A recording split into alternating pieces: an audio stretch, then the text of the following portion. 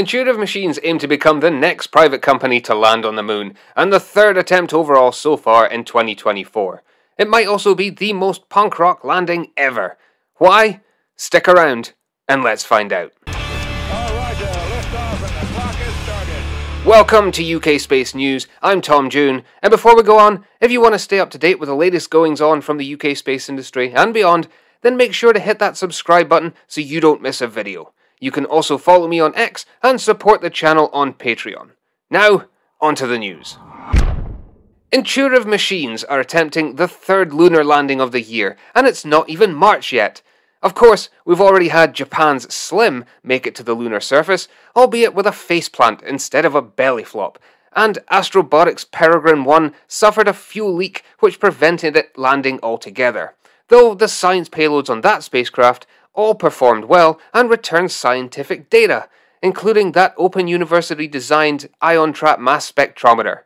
Now, though, it's the turn of Intuitive Machines' Nova C Odysseus, or Odie, spacecraft to have a go. They're aiming for the Malapert A crater near the lunar south pole, and unlike Slim, will be landing in the conventional manner. You know, with landing legs. If successful, it will become the first American spacecraft to touch down on the moon since Apollo 17, way back in 1972. IM-1, as it's called, launched on board a SpaceX Falcon 9 at just after 6 a.m. UTC on Thursday, 15th of February from Launch Complex 39A at Kennedy Space Center in Florida, following a scrub the previous day due to off-nominal methane temperatures prior to loading. The booster for this flight was 1080 on its 18th flight since 2020. Following another flawless flight, Nova C was successfully deployed into translunar injection around 48 minutes after takeoff.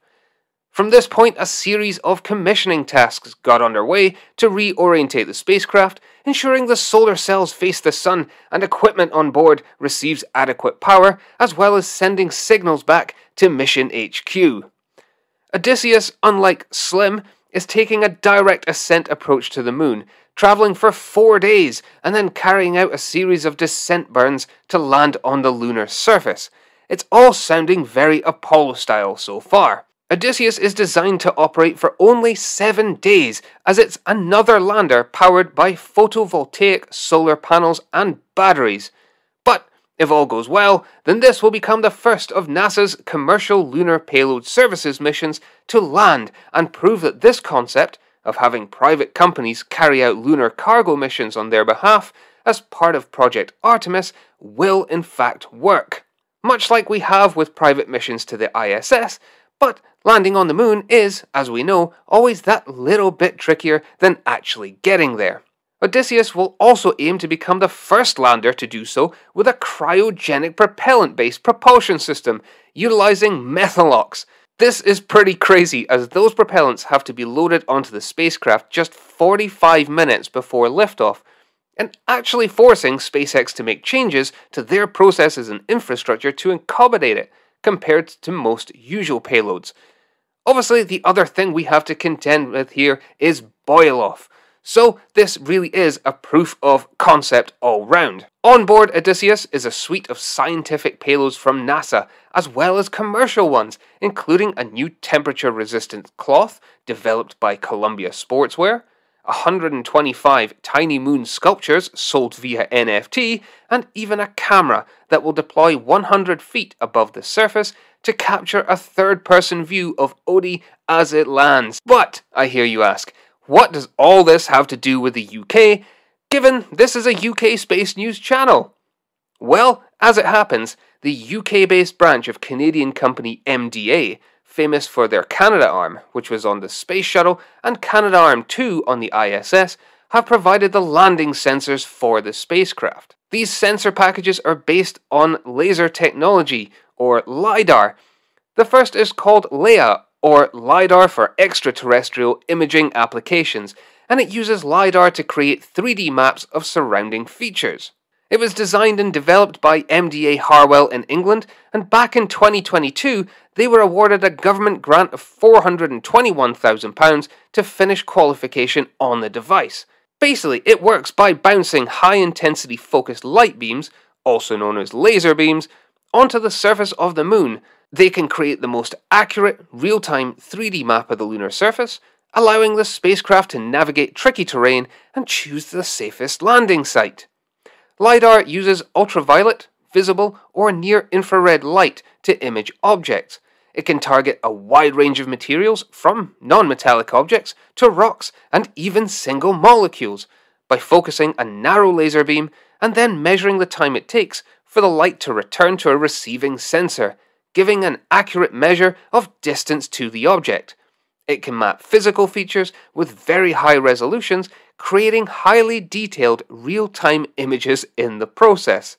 This is particularly useful for lunar landings, as even the most detailed altitude based photography can only provide so much information about surface features.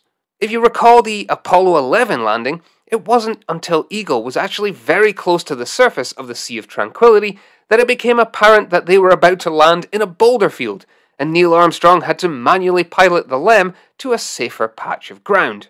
MDA have also provided their flare package for use on flatter, less risky ground.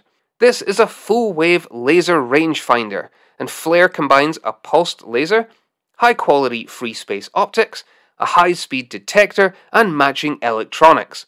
Together with a time of flight measurement system, FLARE can measure range to targets many kilometers away, and it was actually originally designed for use in CubeSats, but it has multiple applications, including spacecraft docking and lunar landing. The neat thing is that MDA have previous successful experience in developing LiDAR sensors for spacecraft having provided a laser altimeter for NASA's OSIRIS REx mission to asteroid Bennu, which of course safely returned to the Earth in 2023 with the first asteroid samples ever collected and returned. Not only MDA are involved here, as AAC Clyde Space, based in Glasgow, have provided the power systems with their Starbuck Mini Power Conditioning and Distribution Unit, or PCDU, for the lander. Power systems perform a number of vital tasks on the spacecraft, such as maximizing power from solar panels, converting it to useful voltages to power electronics and charge the batteries, as well as distributing power to all systems as needed. So, all round, yeah, we actually have a couple of companies from the UK taking part in this international effort to get to the moon again. But I did say that this is the most punk rock lunar landing ever. Now, if there's two things in the world that I love, it's punk rock and space rocks. I love it that much that I created a range of merchandise, which you can find alongside my other collections available via my merch store. Check out tomdune.com and follow the link, or go to the one in the description. Anyway, enough of that shameless plug. You see, one of the lead designers of Odysseus, this whole mission, and the person responsible for naming the spacecraft as such is none other than Mario Romero, who also just so happens to be a fellow fan and member of fan group of my favourite band, Alkaline Trio. He's also a former US Navy SEAL and an aerospace engineer responsible for the assembly, integration, and testing of Odysseus. So for me, this is an all round awesome mission, and I really do hope that it succeeds. We'll be keeping track of this mission throughout its flight until that lunar landing attempt in just a few days' time. So, do again make sure that you're following with me and Intuitive Machines on X so that you can keep up to date with all the latest news. A massive thank you, as ever, goes to my amazing Patreon supporters who make these videos happen. And if you want to consider supporting the channel, then head to the link in the description below or through tomdune.com. Thanks so much for watching. I've been Tom Dune, and I'll see you next time.